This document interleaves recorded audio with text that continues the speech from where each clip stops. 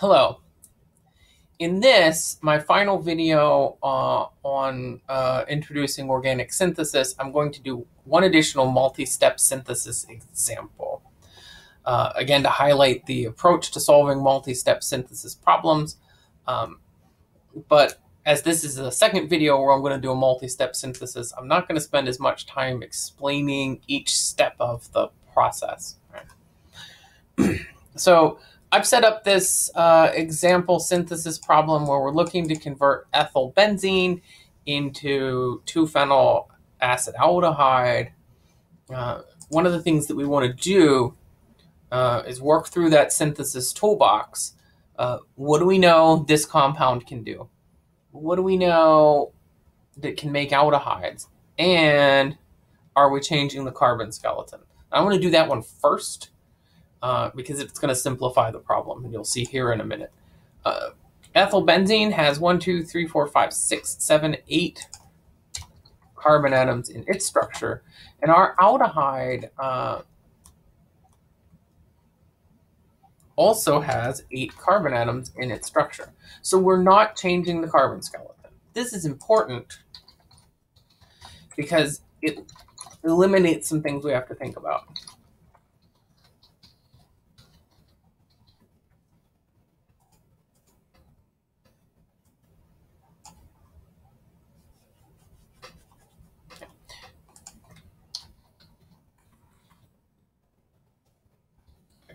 In our forward direction, we need to think about uh, what what can ethyl benzene do.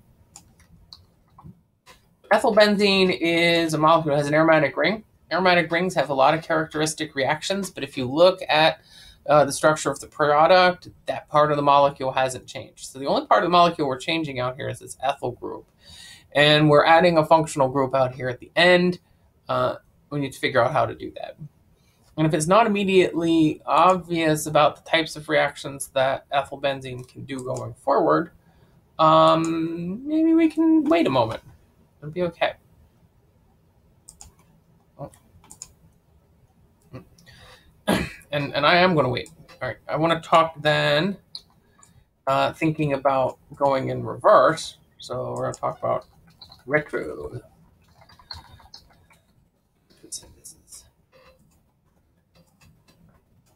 retro postmodern. Uh, retrosynthesis. Now, you know, how do we make aldehydes? Um, we know some ways to make aldehydes, like we can make aldehydes by ozonolysis um, of an appropriate alkene. Let me let me show that one. So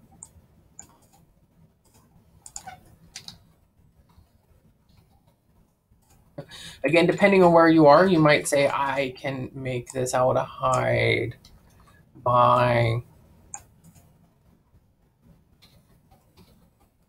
sorry, I can make the aldehyde by oxidation of a primary alcohol. Yeah.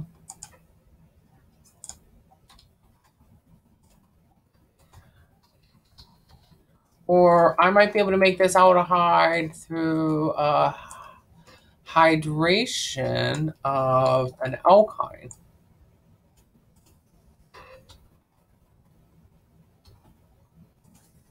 Using the appropriate hydration conditions, which uh, we can talk about if we choose this approach.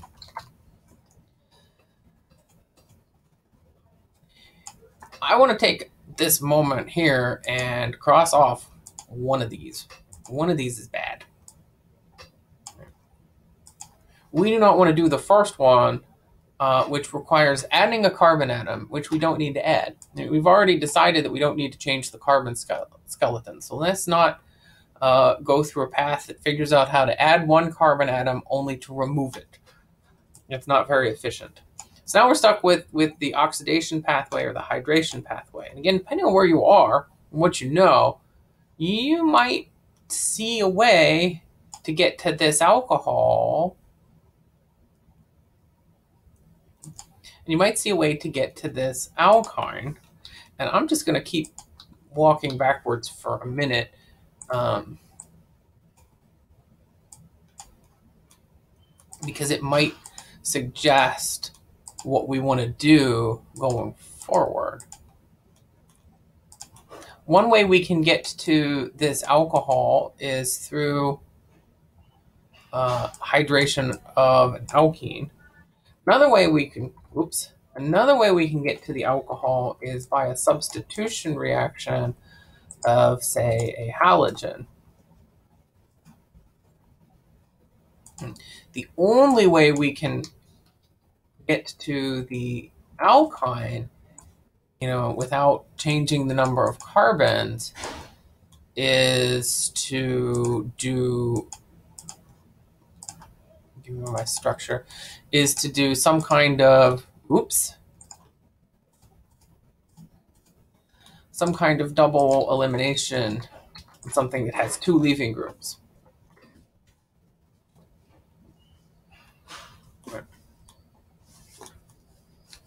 I'm going to go ahead and eliminate another approach. I want to eliminate this one.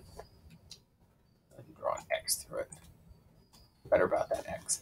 I want to eliminate this one because the swap from a halogen to, to an alcohol, while it would work and while we might know how to do it, isn't necessarily an improvement per se over just having the alcohol there. And if we look at how we might make this molecule with the halogen, we would, you know, we would look and say, well, I know how to make it. If that halogen is bromine, I know how to make it from the alkene. Oh, wait, wait, we can get to the alkene sooner uh, than, than this exchange. You're also looking at that dihalide and saying, I know how to make it from the alkene. And then the question becomes, can I make this thing into that alkene? And then we choose which way we want to go forward. So now this follows my process of trying to break down, oops, a line and not narrow, trying to break down a synthesis problem into simpler steps. Now all we've got to do is figure out how to convert this ethylbenzene into the alkene. And I'm just going to go ahead and suggest to you that this is not a one-step process. Making an alkene requires something that has a leaving group.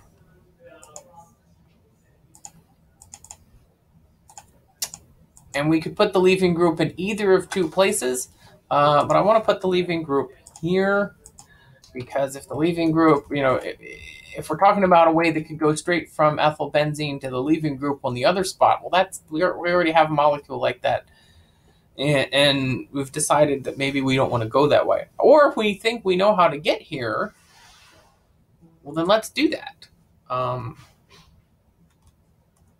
yet, yet this is kind of where where I think that we want to go. All right, so now I've kind of mapped out all of my pieces let's go ahead down here and drop in all of the pieces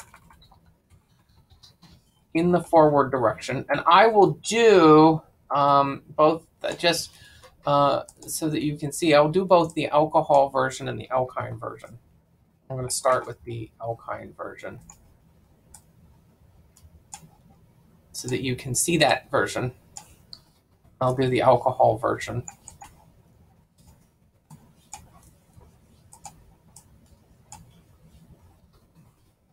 All right, here we go. So in our first step, we are swapping uh, a carbon-hydrogen bond with a carbon-halogen bond. That's radical halogenation. And this position is a special position. It's the benzyl position. Uh, it's resonance stabilized. So actually, we have a, a special halogenating agent, N-bromosuccinimide, that's pretty specific for this kind of resonance stabilized position.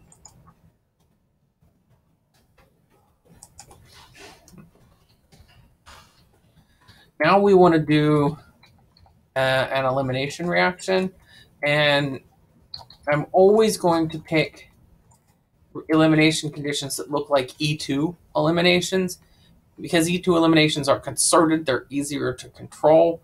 Uh, E1 elimination conditions compete with the SN1 reaction, and we certainly don't want that. Uh, in this particular case, there's only one possibility. There's no other regio, out, regio outcome, uh, so we don't have to worry about that.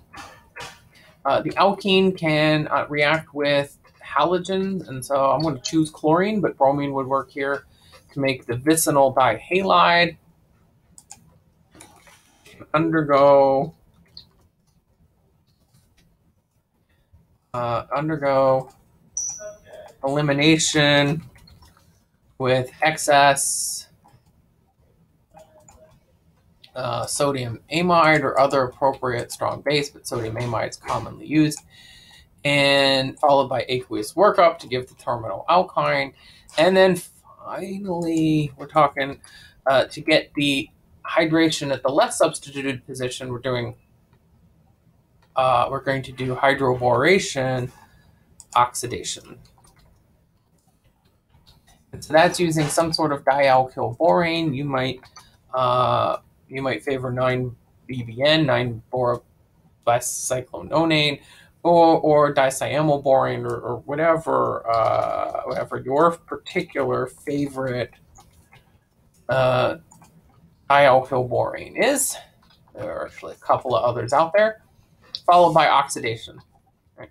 And so here are the here, here are the steps in the alkyne pathway. Yeah, one, two, three, four, five steps. Uh, and I don't have a lot of room down here at the bottom, so I'm going to go back to where the alkyne pathway and the alcohol pathway diverge. And I'm going to delete the alkyne pathway. I'm sorry. Uh, you can go back and pause the video and, and, and take a look at the alkyne pathway. And then get my alcohol pathway. Oops.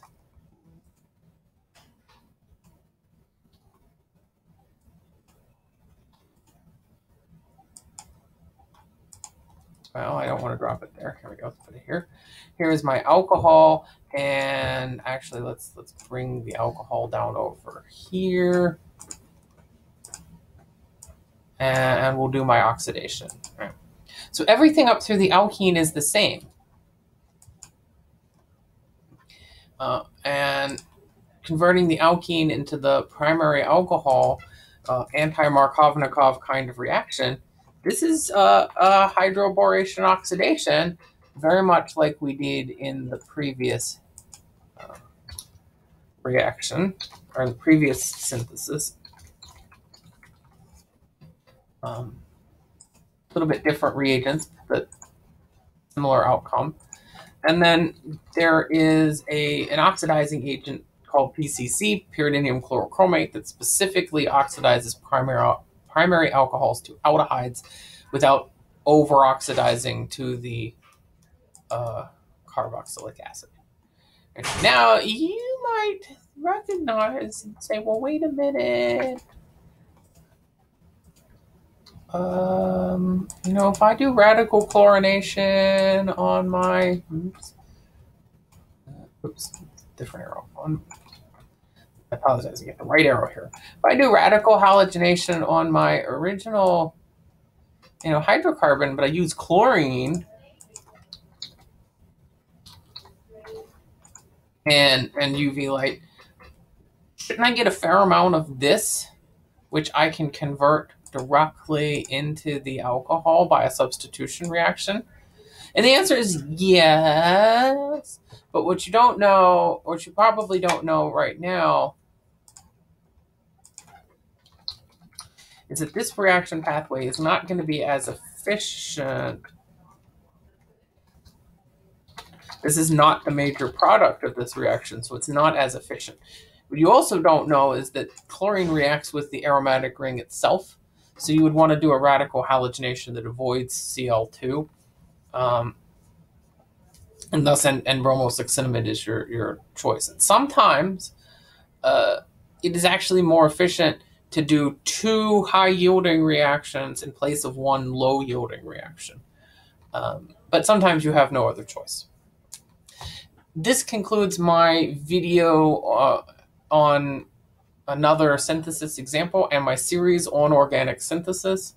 Uh, really, I want to summarize one last time the overarching theme of break multi-step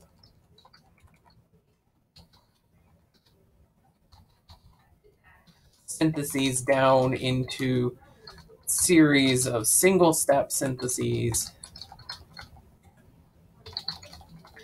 and to remind you to use your synthesis toolbox to help you do uh, to help you do that breakdown. Thank you for watching.